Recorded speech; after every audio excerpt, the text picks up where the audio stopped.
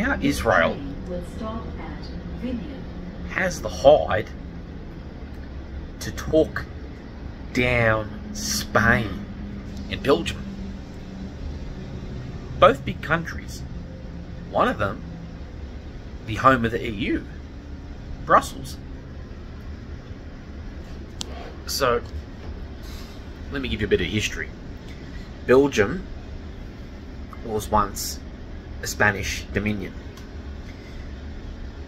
the home of the EU. And Spain was once the mightiest empire, And mightiest civilization on the planet in all Christendom. And that didn't happen for a few days. It happened for a quite a long time. And it was uh, the Spanish who sent us Europeans, in terms of our heritage, to the New World. So, none of these things Israel was responsible for. These great things that gave rise to the free world, the West this beautiful new world we live in, with all its great luxuries, all its great offerings, anything good about it derives from those first steps of the Queen Isabella and her husband Ferdinand. Is there a relation between that Queen and our family? I'm led to believe there is. Uh, you can Google it and do all your funny shit. Uh, there's a note in Wikipedia about Giovanni Abella, uh, Giovanni, if you want to call it that, uh, being a part of the royal family of Spain, and I think it is through her. I think it is through that line. So there's a lot of knowledge there from our family, considering too they pretty much uh, have everything to do with politics in Malta still. I don't want to call it run the country. That's a bit over the top here. The the Bela family don't look at uh, their people that way. Uh, their fellow citizens. It's a it's a matter of being on par or on level with your citizens, not how we run this. That's quite shocking. But the fact of the matter is, they're they've got the hide to talk down Spain and uh, Belgium. These fucking Israeli muppets, unbelievable. These first it was France, the- home of uh, the Enlightenment, the home of the people who gave America independence. First it was France. First he wanted. First the the Israelis were trying to talk down the French, Macron, lecturing him. So they always give Westerners this condescending lecture. It's it's it's quite funny. Even their tone. What did he say? The Israeli ambassador? I have called them to give them a reprimand as if he's got permission at all within the West to give any country such as Spain or Belgium a reprimand. This little weasel, these bunch of effing muppets and troublemakers who have got no, uh, who've got nothing to show for in the last 2,000 years. They, they can barely trace themselves to, to ancient Israel, although they sort of can. But in the grand scheme of things, all they've done since their inception, 48, 1948, is cause trouble and wars. They've got nothing to contribute for to, to this world except killing 15,000 civilians so far after everything we've ever heard them talk about the Holocaust. And they, they want to give the West a reprimand. These people really are sons of ass clowns. I can't really say it any clearer. They're the offspring of ass clowns. They're the offspring of troublemakers. Sanchez uh, to give him a reprimand. Sanchez, a troublemaker. That is hilarious. To call Sanchez, to, to, to refer to him, to, to call him a supporter of terrorism. How can the world take Israel seriously? How can the world take Israel seriously at all? If they're calling Sanchez a supporter of terrorism. That's what they're calling him. That, that's what the reprimand's for.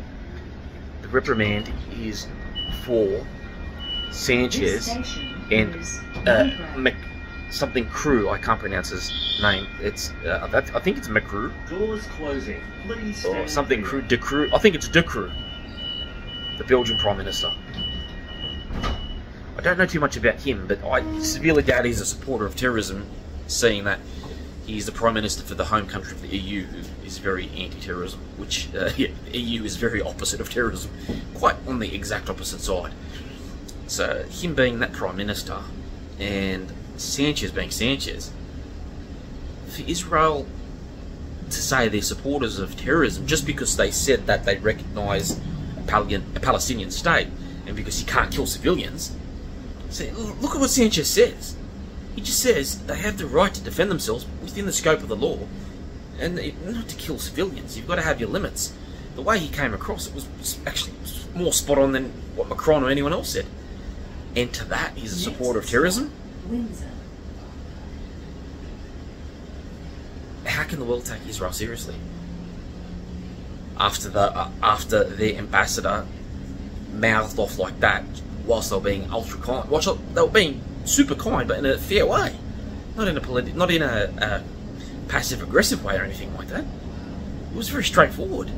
It's very very straightforward, and apparently they're supporters of terrorism. Spain, Belgium. Are you, are you still not seeing this fucking theme of these, you know, these clowns in Israel? These clowns in Israel, they're unbelievably amusing. You can't get a better circus clown. Oh, they're as clown as a clown can get. And the West supports that. Unbelievable. A reprimand. A reprimand to Sanchez. A reprimand to De Croo. As supporters of terrorists. The leaders of Spain and Belgium. Supporters of terrorists. Oh, Jesus Christ. If Britain, if London have the audacity to support Israel now, it's. There was once upon a time, London said, let's set Europe on fire. If Britain don't call their fucking retard in Israel, perhaps it should be the other way around this time. And Europe can do it very easily. Very, very easily. So that's what I would do. To call, just for calling Sanchez a terrorist supporter. I've, I know the Maltese back to front. I, I know a thing or two that others don't know. And you're talking about the most fucking, probably the most peaceful leader on the planet.